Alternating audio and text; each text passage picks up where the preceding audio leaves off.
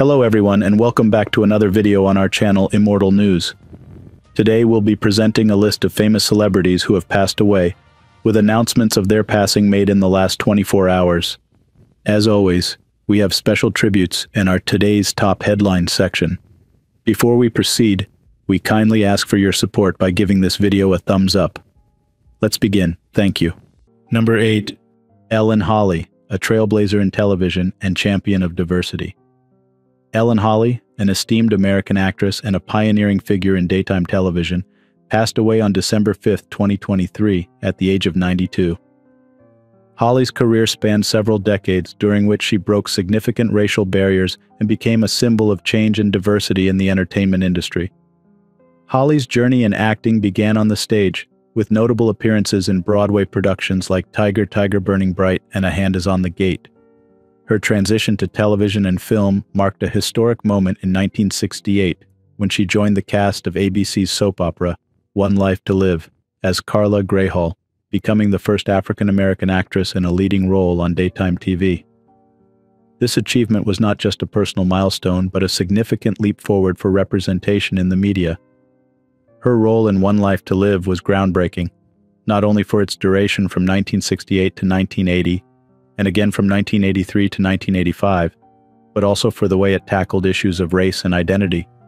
Holly's personal life was as rich and diverse as her professional one.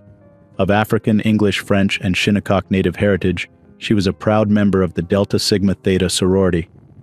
Her relationships, including those with co-star Roger Hill and Harry Belafonte, were detailed in her candid 1996 autobiography, One Life, the autobiography of an African-American actress.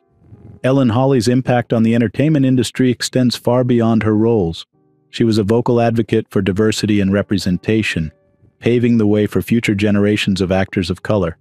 Her legacy is one of resilience, talent, and unwavering commitment to breaking down racial barriers in Hollywood. Tribute to Ellen Holly.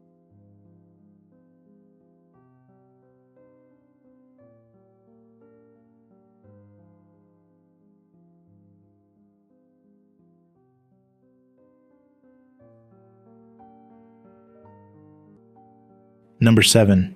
David McKnight, a stalwart talent in African American film and television. David McKnight, an actor celebrated for his dynamic roles in blaxploitation cinema and television, passed away at the age of 87 due to cancer in Las Vegas. His journey in the world of acting left an indelible mark on the industry, showcasing his versatility and profound impact on African American representation in the arts. Born in Mound Bayou, Mississippi on July 2, 1936, McKnight discovered his passion for acting in Chicago, where he moved with his family at a young age. His early foray into acting was at Wendell Phillips Academy High School, followed by studies at Wilson Junior College. McKnight's diverse background included service in the U.S. Army and a stint as a police officer, experiences that enriched his approach to acting. McKnight's breakout role came in 1970 with the pioneering all-black TV soap opera Bird of the Iron Feather. He gained further acclaim in the cult classic J.D.'s Revenge, 1976, where he portrayed a deceased hustler in a performance that remains memorable to this day. His ability to bring depth and nuance to such a complex character exemplified his talent. Beyond film, McKnight was a familiar face on television, gracing shows like Kojak, Hill Street Blues, and The Incredible Hulk. His versatility was further showcased in collaborations with Robert Townsend, notably in Hollywood Shuffle and The Five Heartbeats, where he played roles that resonated deeply with audiences. David McKnight's career was characterized by a steadfast commitment to his craft and a unique ability to bring authenticity to his roles. His legacy as a significant African American actor in both film and television endures, inspiring future generations with his dedication and talent. Tribute to David McKnight,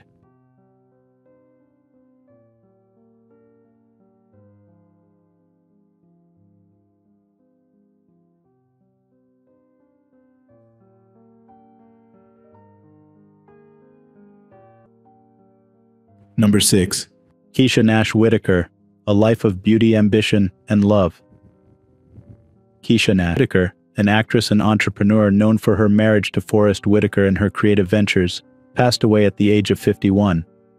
Her death, confirmed by her youngest daughter True Whitaker, has left a void in the lives of her family, friends, and admirers.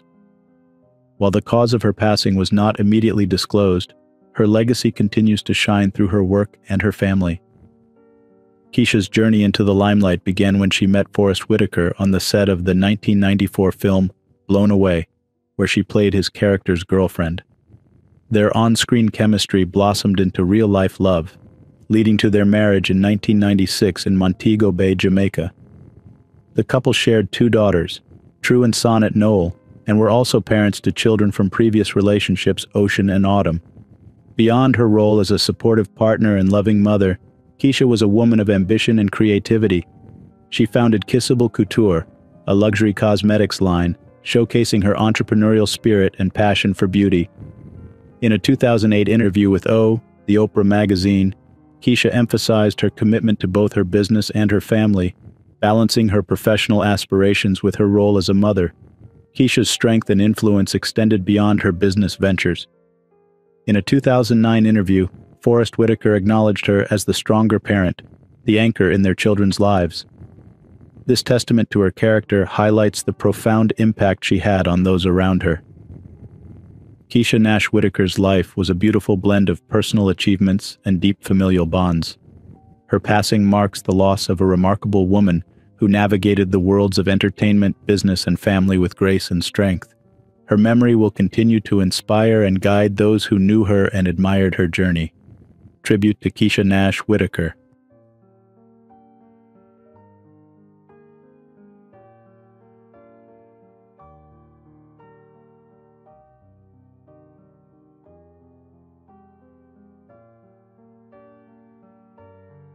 Number 5.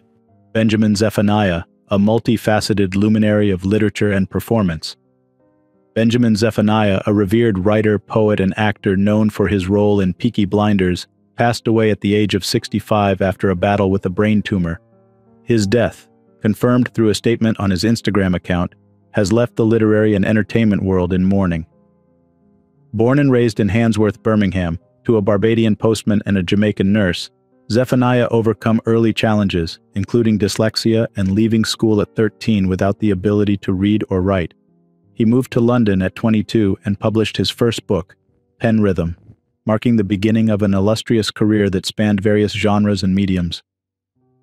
Zephaniah's work was deeply rooted in dub poetry, a Jamaican style of performance poetry that he brought into British living rooms. His influence extended beyond poetry, as he authored five novels and a successful book for children, Talking Turkeys, reflecting his versatility and appeal across different age groups. His acting prowess was showcased in the BBC drama series Peaky Blinders, where he played Jeremiah Jimmy Jesus across six series. Despite his success, Zephaniah remained true to his principles, famously rejecting an OBE in 2003 due to its association with the British Empire's history of slavery. His life was marked by a commitment to issues like racial abuse in education, often reflected in his outspoken nature and writings. Zephaniah's musical talent was also notable, particularly with the release of his album Rasta, which included a tribute to Nelson Mandela. His guest editorship of an edition of BBC Radio 4's Today program and nominations for several prestigious awards further highlight his broad impact. Tributes from colleagues and admirers, including Michael Rosen, Adjoa Andoh, Cillian Murphy, and Billy Bragg, underline Zephaniah's significance as a cultural icon. His legacy as a pioneer in literature, performance, and social advocacy will continue to inspire and resonate with generations to come. Tribute to Benjamin Zephaniah.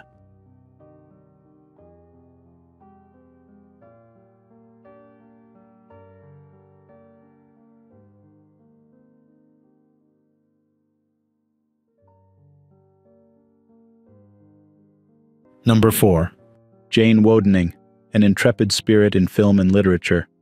Jane Wodening, a figure of remarkable versatility and creativity, passed away on November 17th at her home in Denver at the age of 87. Best known for her collaboration with avant-garde filmmaker Stan Brakhage and her later success as an author, Wodening's life was a testament to artistic dedication and a fearless embrace of the unconventional.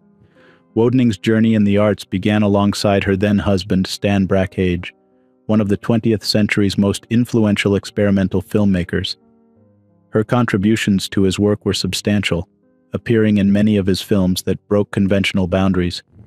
She was the star of several of Brakhage's acclaimed works, including Window Water Baby Moving and Wedlock House and Intercourse. These films, characterized by their deep personal touch and abstract narrative style, brought a new dimension to experimental cinema.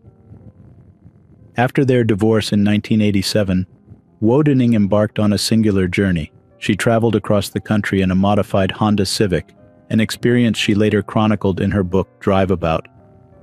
Her writings from this period and beyond reveal a voice that is engaging, humorous, and profound, marking a stark contrast to the abstract nature of her ex-husband's films. Wodening's literary works, including her memoir Living Up There and Wolf Dictionary, reflect her deep connection with nature and her keen observations of life. Wodening's impact on both the world of experimental film and literature is indelible. As a muse, collaborator, and later as an author, she charted a course that was uniquely hers, inspiring many with her intrepid spirit and deep connection to the world around her. Tribute to Jane Wodening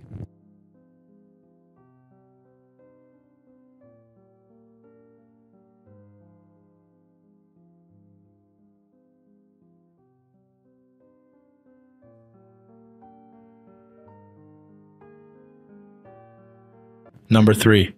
Cilly Dartell, a cherished figure in Dutch broadcasting and theater. Cilly Dartell, a renowned Dutch radio and television presenter and actress, passed away on December 6th due to complications from lung cancer. Dartell, best known for her long-standing role as the presenter of the program Hart van Nederland from 1996 to 2012, and Show News, leaves behind a legacy of significant contributions to Dutch broadcasting and theater. Dartell's career in the arts began in theater, where she performed from 1974 to 1990. She was involved with various cabaret groups and theater companies, including Cabaret Naar, showcasing her versatile talent.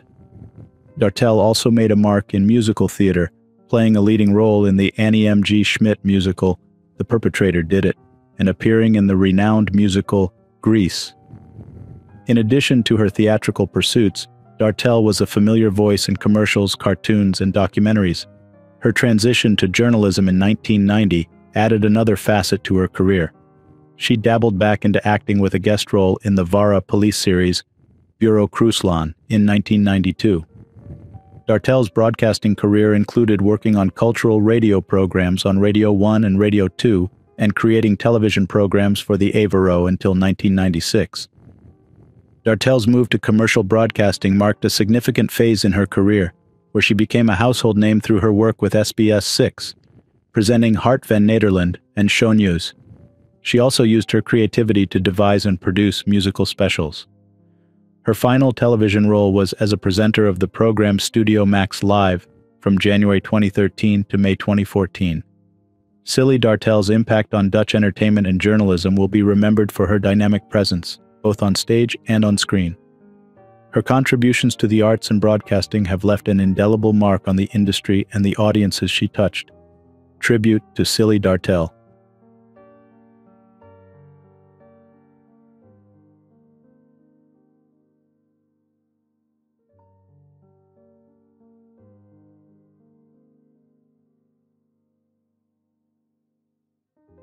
Number 2.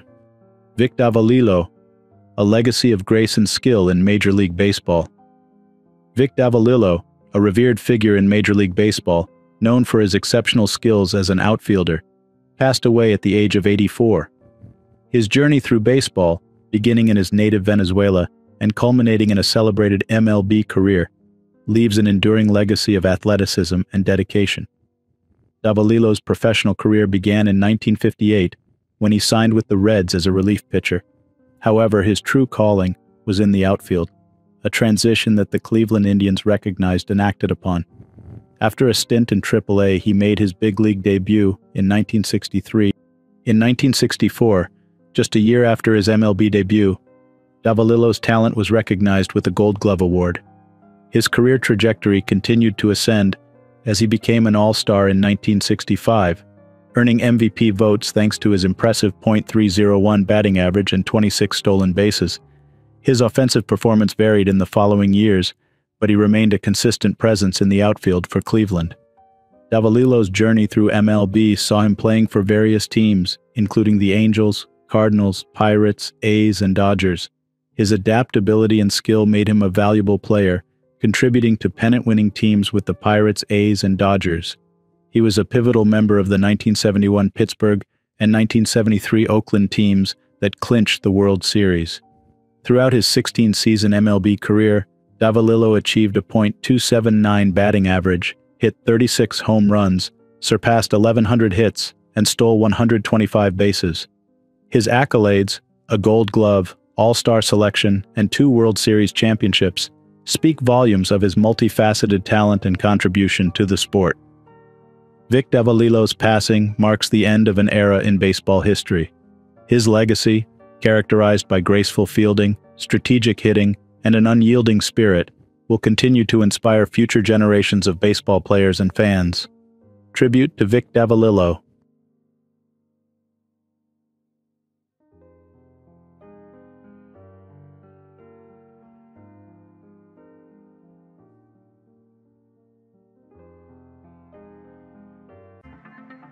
Today's top headlines